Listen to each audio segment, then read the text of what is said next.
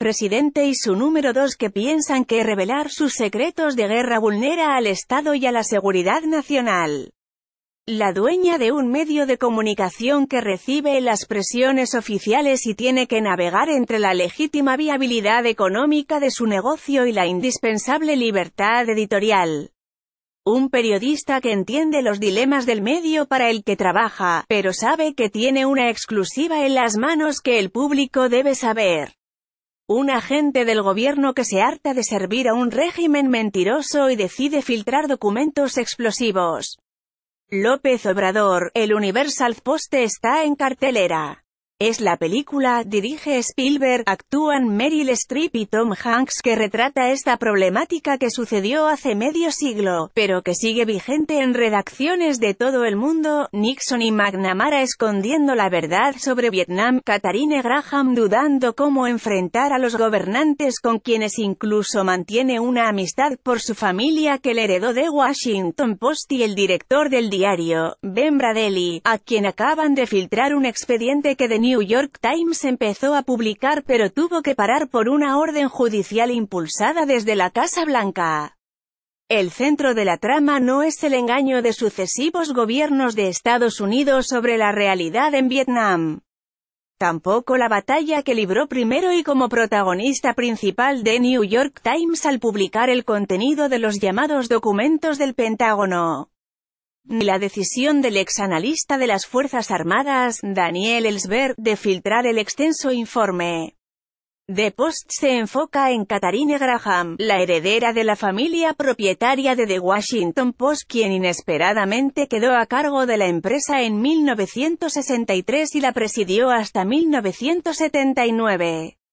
En un mundo machista, ella terminó siendo el factor decisivo para que The Washington Post pasara de ser un periódico de perfil local y sin grandes pretensiones, a disputar con The New York Times el liderazgo del periodismo mundial. Mid, el Universal fueron los documentos del Pentágono y luego el caso Watergate los que permitieron al Post dar ese salto y fue Graham la que decidió publicarlos pese a fuertes presiones, las recomendaciones de su familia y el establishment de Washington de que no se enfrascara en una batalla frontal contra el poder, que le recordaba su cercanísima amistad con McNamara, el principal implicado.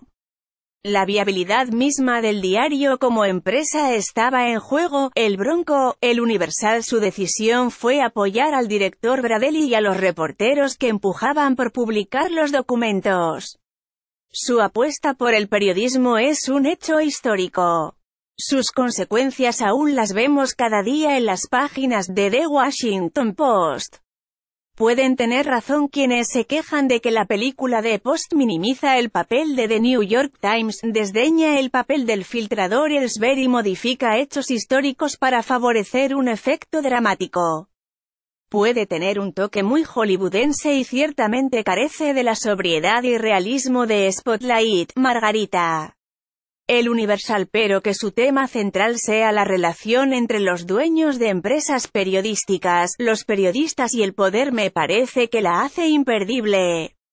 Especialmente en la era de la mentada posverdad, las fake news y de una generación de políticos en Estados Unidos, en México y en el mundo, que desprecian a la prensa y piensan que no está mal amenazar, amedrentar, calumniar y llamar a sus seguidores a linchar a los periodistas que les incomodan. Ricardo Anaya, El Universal se me antoja invitarles el boleto para que vayan a verla al cine López Obrador, Mid, Anaya, El Bronco, Margarita, todos. El caso es que la lista de errores crece. En esta nota, Seguridad Nacional Libertad Editorial.